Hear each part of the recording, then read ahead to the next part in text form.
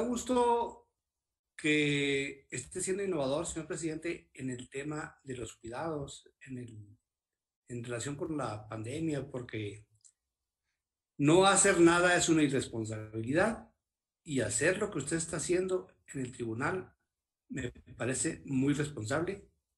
Creo que usted irá retocando las medidas en relación con el COVID, de conformidad se vayan dando las experiencias, pero a mí me da gusto que el presidente de un tribunal se haya dado la tarea de implementar muchas medidas que inclusive no hemos escuchado en otras partes, lo cual es muy bueno y como dice la presidenta de la comisión, la diputada Patricia Terrazas, pues le entró la innovación y había que seguirle entrando y había que seguirlas compartiendo, señor presidente. Cosas que parecen que parecieran increíbles como la del elevador, de poner círculos, de no voltear, de pues, todas esas cosas. Se ha dicho que si todos guardáramos la, la sana distancia y usáramos el cubrebocas en ocho, en ocho semanas, pudiéramos controlar. Bueno, primero yo reconocerle pues estas medidas que son muy buenas, que, que nos sirven para usarlas a nosotros en su momento y, su responsabilidad, señor presidente. Qué bueno. Y por otra, decirle, entre todos los juicios en línea, híbridos y por la vía tradicional, ¿cuántos juicios está teniendo el Tribunal de Justicia Fiscal y Administrativa en el país al mes, al año? ¿Y, cómo va el porcentaje de resoluciones? Eh, y si usted considera que esta tendencia de juicios es una tendencia, cualquiera que sea el número, normal, o es un poquito a la alza en relación con, con los juicios que son, pues a veces inconformidades con las decisiones administrativas de cualesquiera de los niveles del gobierno.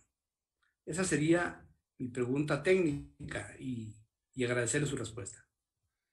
Muchas gracias, señor diputado Trejo. Me da mucho gusto saludarlo. Hace algunos años nos conocimos cuando usted estaba en el Senado de la República. Sí, Me da mucho gusto saludarlo. Este, primero, pues le agradezco los comentarios y a lo mejor ya no comenté, pero estos lineamientos y este protocolo están publicados en la página del tribunal desde hace tres semanas, donde está el detalle de ellos. Y si me permite, con mucho gusto se los podría enviar para que vean que lo que estoy diciendo está escrito.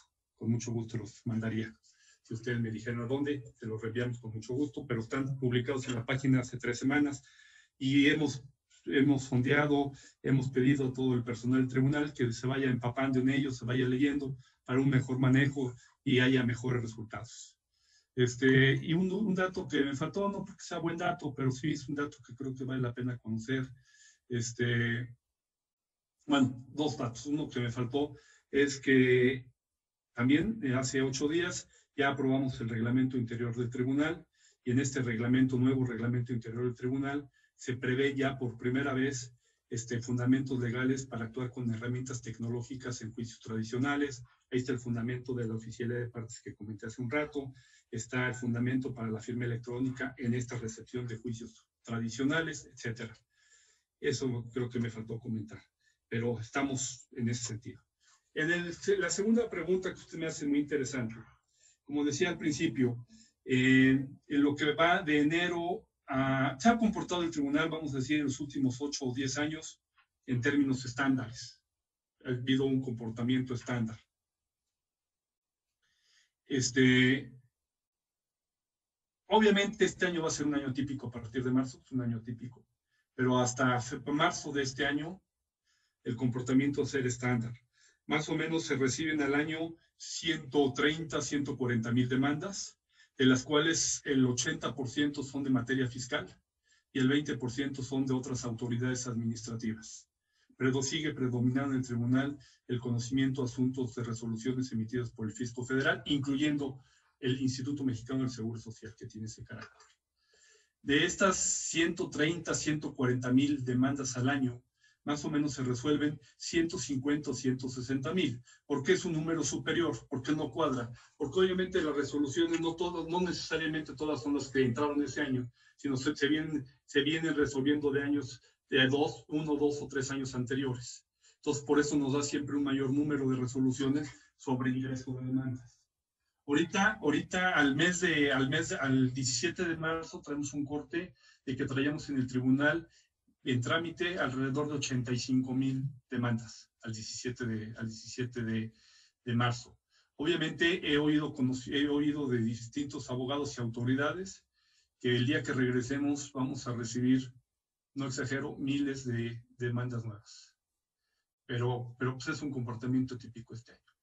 Este, de, de, estas ciento, de estas 150, 160 mil demandas que se resuelven al año, más o menos, a veces un 55, a veces un 50-50, a veces un 65-45, a veces a mayor a favor del físico federal o a veces a, favor de los particulares, pero más o menos el índice está arriba, mitad, mitad, y a veces arribita el fisco y en algún año ha sido arribita, pero más o menos en ese, en ese nivel andamos.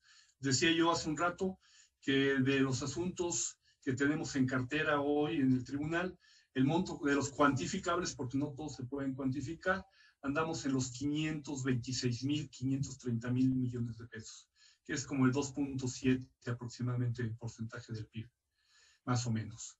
Este, el año pasado y hasta febrero de este año, de los, de los 150 y tantos mil asuntos que se resolvieron, se definió ahí unos a favor del Estado mexicano y otros a favor de los particulares. Se resolvieron asuntos por un monto de 616 mil millones de pesos, más o menos. No sé si eso contesta su pregunta o con mucho gusto, si quisiera que profundizara en algo, lo haría con mucho gusto, señor diputado. si me permite, señor Presidenta, si no interrumpo la intervención de algún otro diputado. Adelante, diputado Trejo, adelante. señor presidente del tribunal, evidentemente pueden ser múltiples las razones, pero ¿tienen estudiado en profundidad los magistrados de la sala superior o de las diferentes salas las razones por las que hay muchísimos juicios en tema fiscal, porque eh, ciertamente el tribunal tiene la vocación de la justicia fiscal. Eh, habíamos dicho que mayoritariamente iba a ser administrativa cuando pensábamos en muchas de las reformas. Y segundo, si, es, si esta adecuación que piensa hacer de, de, la reforma requiere reforma de ley o sería un tema reglamentario. Y ahí quedarían mis preguntas, presidente. Muchas gracias, señor diputado Trejo. Este, como usted sabe, pues, la competencia del tribunal es conocer de las resoluciones definitivas. El 90% de las resoluciones en materia fiscal son de créditos, son determinación de multas y créditos fiscales. El otro 10 hay efecto de devolución o inclusive juicios de lesividad derivados de consultas otorgadas por el propio SAT. Pero el grueso, el grueso es determinación de crédito fiscal, lo que se impugna en el tribunal. Un porcentaje también secundario es imposición de multas de carácter fiscal.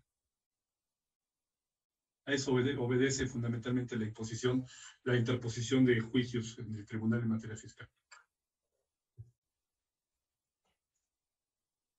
No sé si, si contesté acertadamente.